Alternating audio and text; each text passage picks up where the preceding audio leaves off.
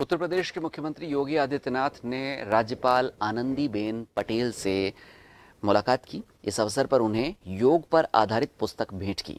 वहीं राज्य सरकार द्वारा चलाई जा रही योजनाओं और विभिन्न कार्यक्रमों से राज्यपाल पटेल को अवगत कराया।